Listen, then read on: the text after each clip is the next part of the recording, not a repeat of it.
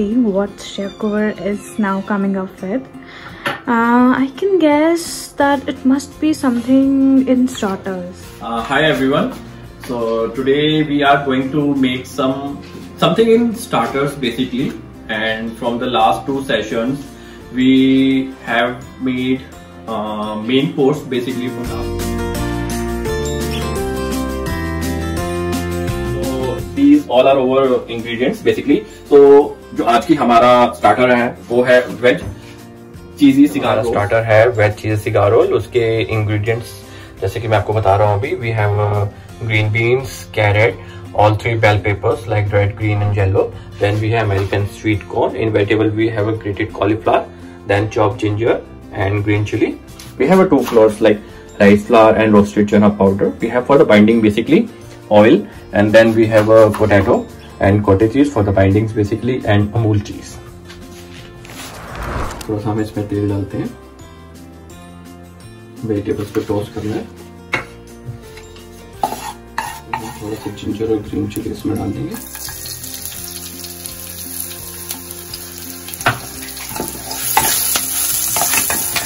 Now we can add beans इसको हम ज़्यादा टॉस्ट नहीं करेंगे, ताकि ज़्यादा मैश ना हो जाए खड़ा खड़ा रखेंगे।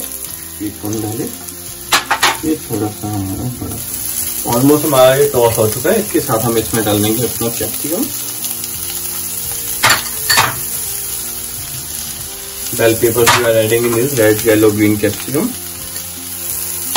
बहुत ही कलरफुल और बेहतरीन लग रहा है। देखिए।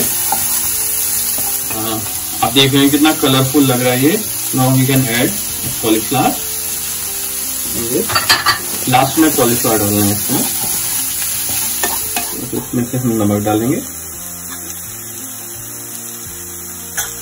धनिया पाउडर ज़्यादा मसाले से एक डिश का भी फ्लेवर बिल्कुल उड़ जाते हैं, चले जाते हैं। तो ज़्यादा कॉम्प्लिकेटेड करना ही नहीं है। हल्का सा कश्मीरी चिली है इसमें। कश्मीरी चिली और लास्ट में favourite kasuri methi. uh, now we are going to mash and mix both paneer and aloo. Uh, mash करने के बाद इसमें हमने राइस पाउडर और रोस्टेड चना पाउडर बाइंडिंग के लिए बनाया है। बाइंडिंग के लिए।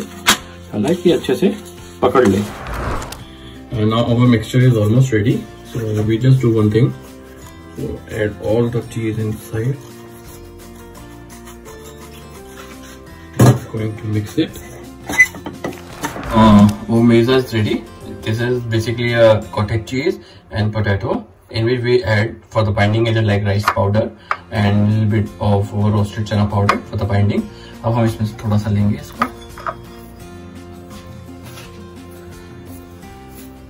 मिक्सचर बेसिकली इसको हम लेंगे इसमें बनाया अपना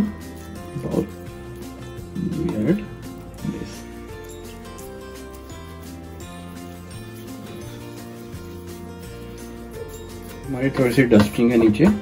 इसमें हम बनाएँगे। सिगार का अपनी शेप देंगे।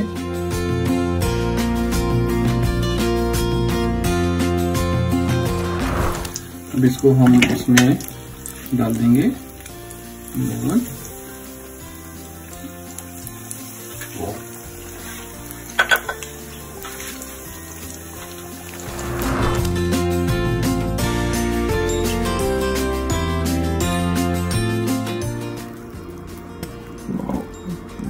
Very delicious very delicious.